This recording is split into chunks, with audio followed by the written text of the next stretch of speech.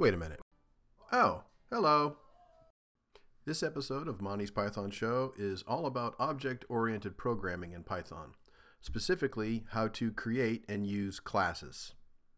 Now what we're going to do with today's tutorial is we are going to program a fantasy game called Battle BattleGlots. And I think that um, using a real-world example uh, for creating classes will be a better way to help you understand why classes are helpful and how to create them.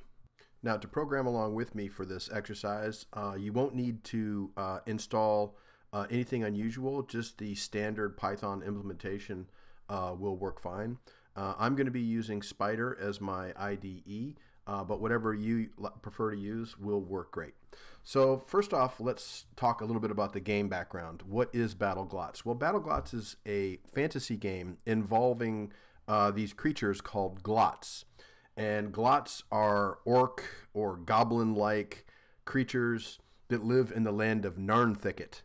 And there are different types of glots, as we're going to learn in our programming. There are regular glots, and there are warrior glots. And warrior glots can wield weapons and things like that.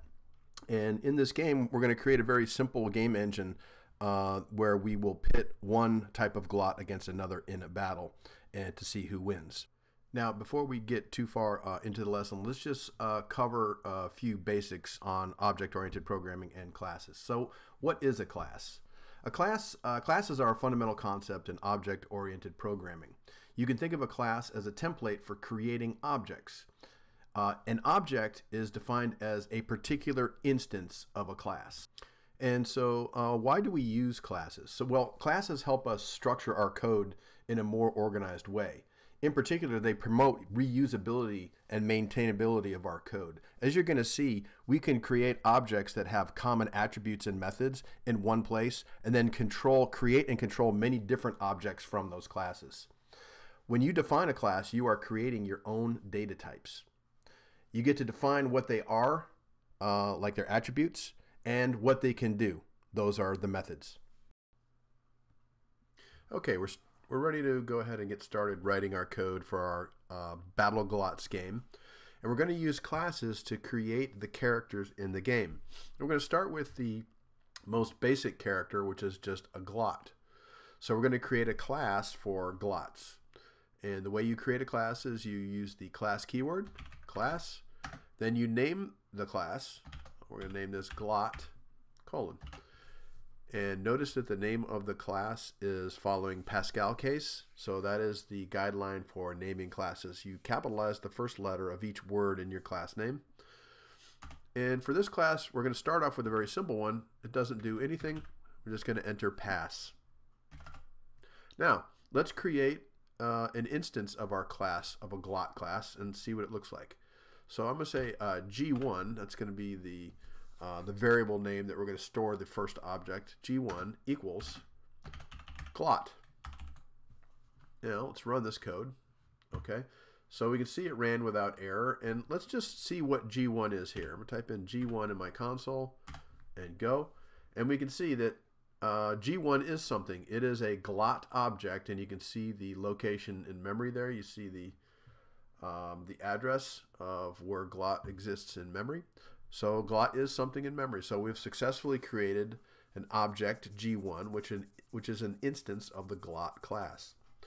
Let's go ahead and give G1 a couple of um, attributes. So um, let's say that basic glots um, have um, some level of strength. Um, so let's say that a G1 has a strength rating of 0.2. So a basic glot hasn't done a lot of weight training or any kind of high intensity uh, interval training yet, so he's got a low strength rating. So all, all basic glots have the same starting strength. And let's say uh, G1 has uh, no armor. Let's say a basic glot has no armor. They walk around in uh, thin leather loincloths and look silly. All right, so let's say they have no armor. But let's say that um, glots are productive. Uh, so let's give it a productivity attribute. And let's set that equal to 2. Okay. So let's run that code. All right, so it ran without error. So let's just go over here in the console and let's just double check to see does G1 in fact have these attributes. So I'm going to print out G1 dot uh, strength. Yep, 0.2. So the items that I created here, those attributes are saved in memory. So our our glot G1 has strength of 0.2, armor 0, and productivity of 2. In fact, we could print, let's print out a little message here. Uh, let's say um, glot um, has strength g1 dot strength.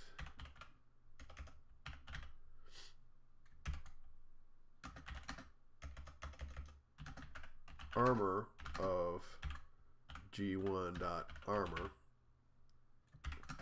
And productivity of g1 dot productivity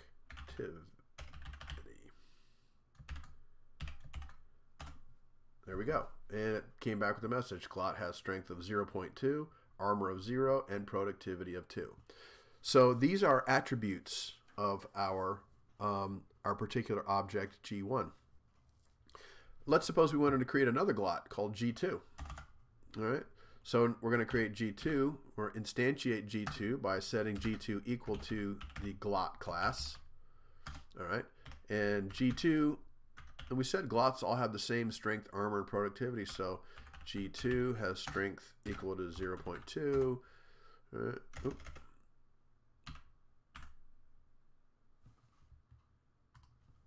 and G2 has armor equal to 0 and G2 has productivity equal to 2.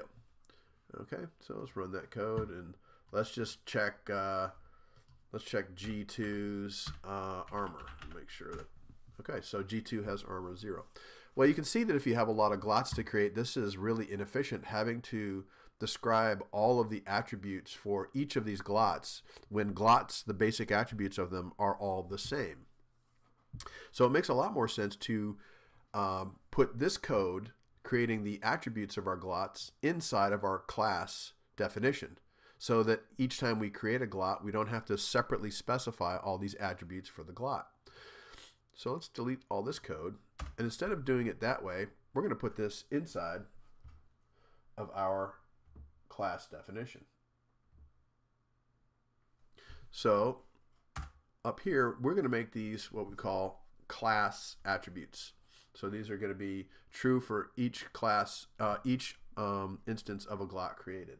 So we're going to set the strength equal to 0.2, the armor equal to 0, productivity equal to 2. Okay? Now let's run. Now let's create uh, an instance of G1. Let's call G1 here, and G1 is a glot. Okay, let's run that. Just clear this.